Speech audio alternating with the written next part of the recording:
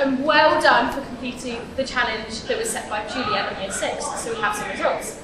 In year three, we have Kwaku, who came first. In year four, we have Zahir. In year five, we have Reese. And in year six, we have Hura. So well done to everyone. And the winning house today was Townsend. You can find all of the results on the Facebook page, which will be posted shortly.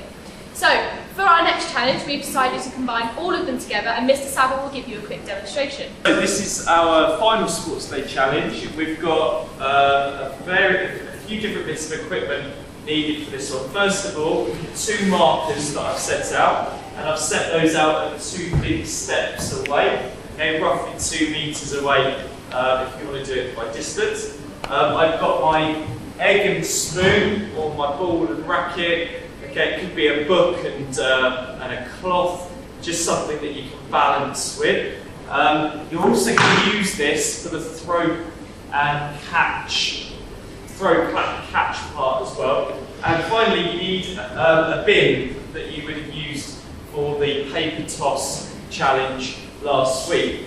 Um, and this is how the challenge works. You'll get have uh, need someone to time you because what you're going to do is you're going to firstly, as quickly as you can, run around.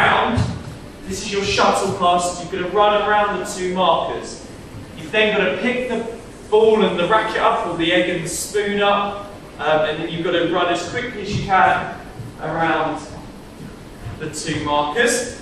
You're going to place the racket down or your spoon down, and you've got to throw the ball in the air, and you've got to do at least three catches while the ball's in the air and catch it.